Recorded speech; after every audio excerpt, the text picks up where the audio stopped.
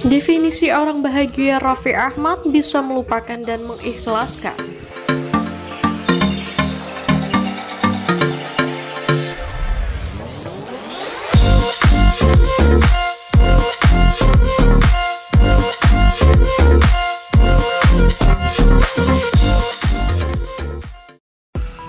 Dikutip dari Intip Salaf Lokal, Biasanya definisi orang bahagia dikaitkan dengan punya banyak uang dan sedikit masalah.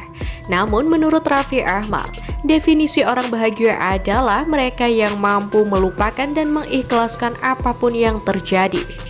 Bahkan Raffi Ahmad mengaku tak pernah mengungkit kesalahan orang dan tetap melaju ke depan. Lantas apa sajakah definisi bahagia untuk seorang Raffi Ahmad? Simak beritanya berikut ini. Definisi bahagia Melihat kehidupan Raffi Ahmad rasanya seperti melihat kehidupan bahagia yang sesungguhnya. Pria yang sering disebut Sultan Andara itu tampak bahagia dengan bergelimang harta dan minim masalah kehidupannya. Tak hanya itu, Raffi juga punya keluarga yang bahagia, seperti istri setia dan pengertian dan anak-anak yang cerdas. Banyak orang yang mendambakan menjadi seorang Raffi, namun nyatanya tidak seperti yang dibayangkan publik pada umumnya. Raffi Ahmad mengaku punya banyak persoalan yang orang tak tahu, namun dia lebih sering memilih diam menyelesaikan masalah dan melupakan persoalan yang sudah berlalu. Menurutnya, cara itu dilakukannya untuk mencapai taraf hidup bahagia sesungguhnya. Raffi Ahmad mengatakan, mereka yang paling bahagia adalah mudah melupakan kesalahan orang lain dan mengikhlaskannya. Jadi gue punya prinsip begini, jadi orang yang paling bahagia itu sederhana. Orang yang paling bahagia itu dia bisa melupakan, mengikhlaskan. Ya udah jalanin ke depan, kata Raffi Ahmad dilansir intip seleb dari Instagram @lambegosip.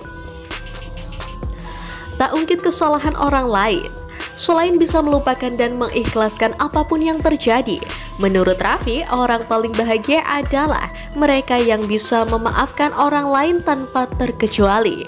Artinya, kata Raffi, kesalahan orang lain perbuat tidak pernah diungkitnya.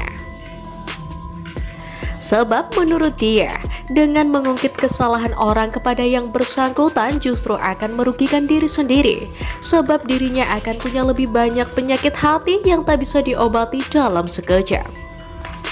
Maka dia memilih untuk memaafkan apa pun kesalahan orang dan tak perlu mengungkitnya walau sedikit. Dia merasa itulah definisi orang paling bahagia yang sesungguhnya. Sekarang kita kalau orang nih, dia pernah salah, kita ungkit-ungkit jadi kitanya kan punya penyakit hati, ujar Raffi. Dia meminta baiknya orang jika teman atau kerabatnya punya kesalahan, baikkan segera dimaafkan untuk tidak menjadi penyakit hati yang membesar. Jadi orang yang paling bahagia itu ya udahlah gitu, kata Raffi. Dapatkan update berita pilihan dan breaking news setiap hari dari Aulin Official. Jangan lupa komen, like, dan subscribe supaya kalian tak ketinggalan berita artis tanah air Indonesia.